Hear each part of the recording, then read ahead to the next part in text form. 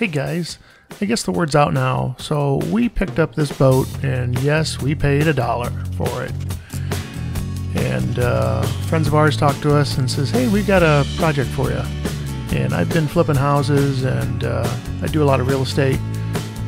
Um, boats, not exactly my forte, but we like a challenge. And uh, so we took a look at this boat, and we ended up purchasing it for, like I said, a dollar.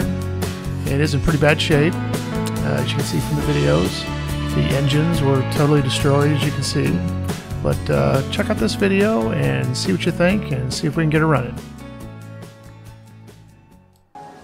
Buy some worthless old boat and fix it up new. Hey guys, so this is our 1978 Carver 33 Mariner that we just purchased. I should say uh, we inherited it and because there's quite a bit of work that needs to be done. So right now we're in the process of removing the hull paint and uh, you can see pretty obviously where the water line was so we're just using a uh, power washer, 3000 PSI power washer. I've got a portable uh, tank, water tank. So we're just power washing. And of course you can see right where the water line is because below the water line, it's just coming off really easy. But it's pretty thick, pretty heavy above the water line. So it's not coming off as easy. Uh, probably won't, I'll probably have to sand that off. But um, there's a couple things that we've got to take care of. Looks like there was some fiberglass work done here at the bottom. And it hasn't been uh, out, so it's not smooth. So that needs to be taken care of. There's a couple nicks, couple, couple little bit of holes but uh, for the most part, it is not bad. So because it's 1978, it's got a lot of teak wood. So uh, you probably can't tell, but on the windows, there's teak wood there, there. That carver is all teak wood, and then up above by the captain, uh, that is all teak wood up there. So we have to refinish that. And then uh, you can see the teak wood up here. And then there's a rail that goes all the way around. It's all teak wood. And I'm not sure what these are called. Uh, there's a wooden piece of teak wood right here that uh, needs to be refinished as well. So we're going to take a quick tour and take a look inside. So it's up on blocks in the marina. Here's a view of the back. It's an inboard motor. So it's got two props that counter rotate underneath, port and starboard. And uh, power wash this back here. Looks like there was some uh, some damage back here, some repair work that they did, which actually caused this support to be lower than the other ones. So there is a little bit, you probably can't see it on the camera, but there's a little bit of a bow here uh, that I need to try to see if I can fix probably just by extending that rod a little longer using the same holes. So to get on we got to use a uh, got to use a ladder. To get up on the I think they call this a ski platform.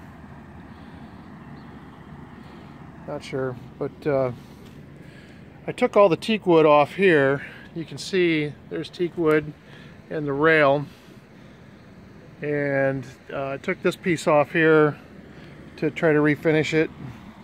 It come out pretty good. And then the same thing here. There's a piece here. We're going to take this off.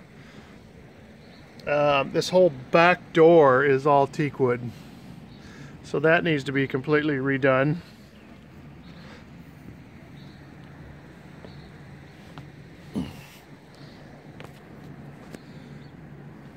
here's the captain's area where they pilot the boat. Uh, these cushions actually lay down into this bed configuration or they set up into a couch. And then uh, the original design in the 78 Carver, instead of an air conditioning unit, this was a stairwell to go downstairs. So So a previous owner had put the air conditioning unit in here and uh, put a table on top of it, um, which works. So you can see all the teak wood that's up here that we are going to have to work with. And then uh, I'm going to have to get a new captain's chair. This one's vinyl on this one's pretty shot. And the uh, little console. Two engines.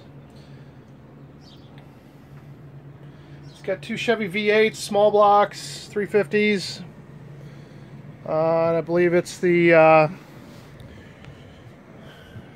Crusader or Cruiser, Crusader, Crusader 270s. So you got port and starboard down there. This lifts up, which uh, nice head uh, so you don't bang your head when you go into the cabin. That's nice.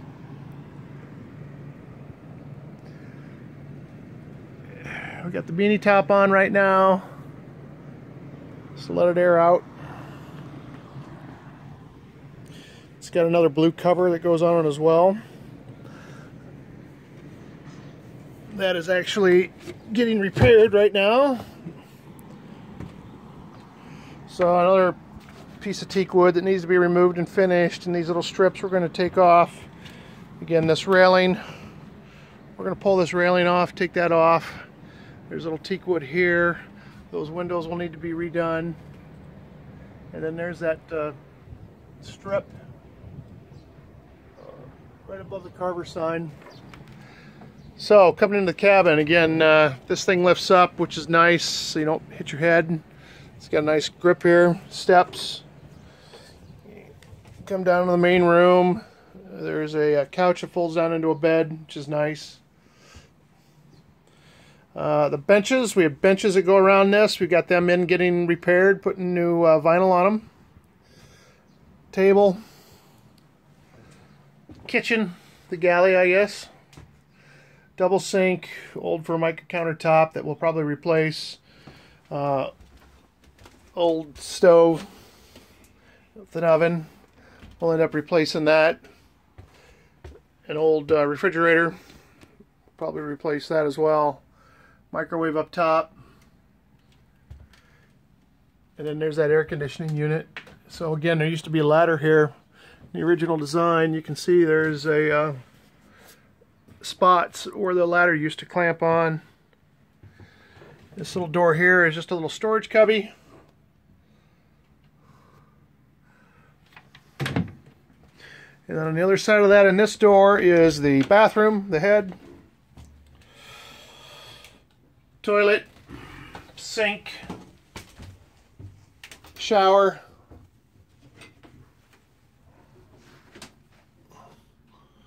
It's not much of a shower, but it's enough.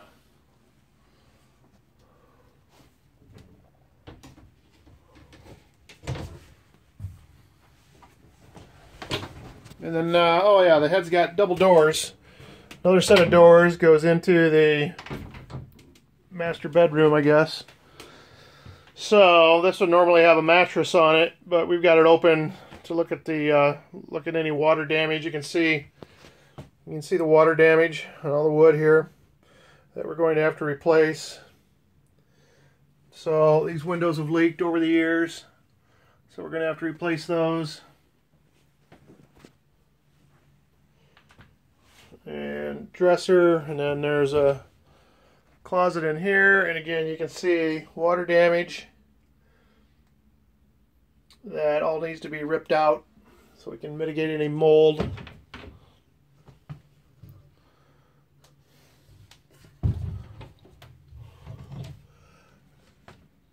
and then again the door from the bedroom coming back into the kitchen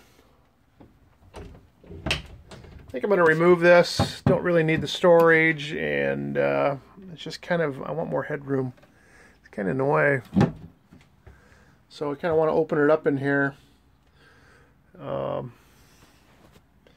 don't really we got enough storage kind of underneath and um, it just is kind of in the way. whiten and brighten and open up, right? Oh, look at that. It's double-sided. That's kind of cool. Double-sided. We'll see. Lights, we'll swap them out for some LED lights. There's the ladder for uh, off of the uh, the end of the boat. These steps you can remove so you can get access to the engines. And we'll take a look at the engines in a little bit. Probably in another video. So that's it. That's what we had to work with. And uh, stay tuned. It's going to be a multi-part series. We're going to go through the bottom paint. We're going to go through the engine. We're going to go through launching the boat and uh, future things that we need to do to uh, make this thing a weekend cruiser. So I will see you soon. Bye bye for now.